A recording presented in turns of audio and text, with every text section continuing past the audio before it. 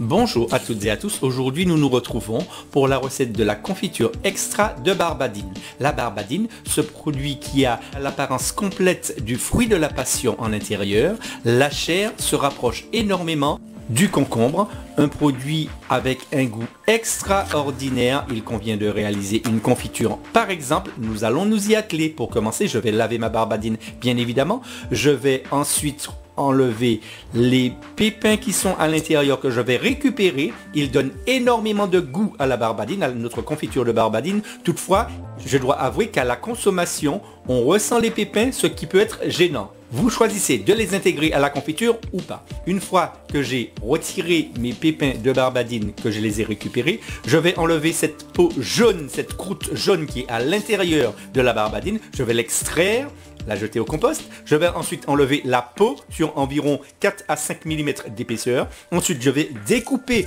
ma barbadine en petits morceaux égaux, tant que faire se peut, bien évidemment. Par la suite, je vais rajouter du sucre par-dessus ma barbadine. En ce qui concerne les quantités, je vais prendre 1 kg de barbadine. J'aurai donc besoin de 500 g de sucre, 50% de sucre. Je rajoute une belle cuillère à soupe d'essence de vanille dans ma confiture. Également une cuillère à café de peau de citron vert râpé. Par la suite, je vais filmer mon récipient de barbadine couvert de sucre. Je vais entreposer ceci au réfrigérateur le plus longtemps possible. Si je peux les garder une journée complète, c'est parfait. Au bout d'une journée, restée au réfrigérateur, j'enlève ma barbadine du frigo, je retire le film, je fais cuire ceci à feu moyen. Pendant la cuisson, au bout de 10 minutes, je commence à retirer toutes les petites impuretés de coloration brunâtre qui sont au-dessus de ma confiture, tel que vous le voyez sur votre écran. Je laisse tout ceci cuire pendant environ une bonne demi-heure. Au bout d'une demi-heure, je hausse mon feu.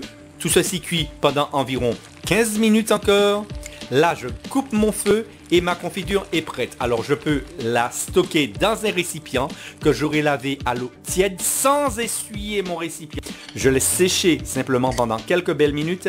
Je remplis mon récipient, je referme ce récipient, j'attends que l'ensemble refroidisse, je pose au frigo et je peux garder ceci pendant plusieurs mois au réfrigérateur. Likez la vidéo, partagez la recette, reproduisez la recette bien évidemment. J'invite les nouveaux visiteurs à cliquer sur le lien à cet effet afin de s'abonner à notre chaîne et je vous dis à très bientôt dans notre prochaine vidéo.